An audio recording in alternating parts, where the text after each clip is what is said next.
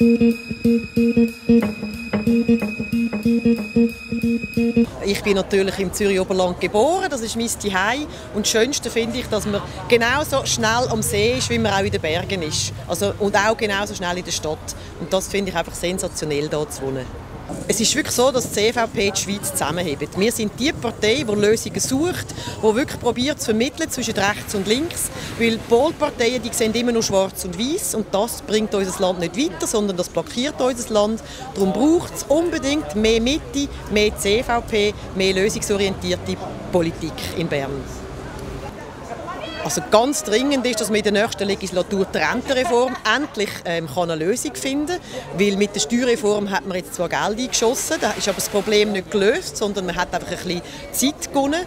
Und da müssen jetzt wirklich Parteien sich äh, zu einem Kompromiss einigen. Die CVP ist klar dafür, dass man die Rente äh, Mann und Frau auf 65 erhöht, aber sicher nicht höher.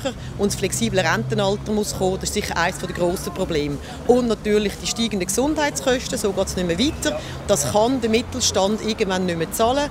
Darum ist unsere Kostenbremse so wichtig und dann muss man Massnahmen ergreifen in der nächsten Legislatur, um die Kosten zu bremsen.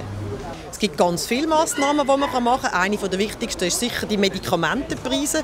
Die müssen einfach mal gesenkt werden, die sind viel zu hoch.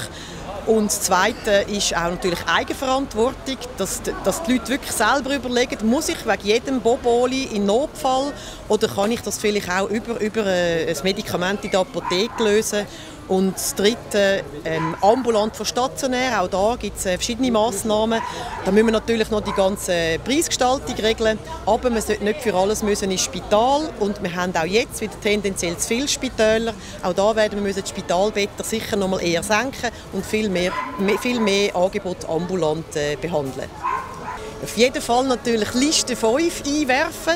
Die CVP ist wichtig, wie ich gesagt habe. Wir haben die Schweiz zusammen, wir bringen Lösungen, wir schaffen Kompromisse und die sind extrem wichtig im Parlament, auch im Nationalrat. Im Ständerat sind wir ja gut vertreten, aber es braucht auch mehr CVP im Nationalrat. Darum unbedingt Liste 5.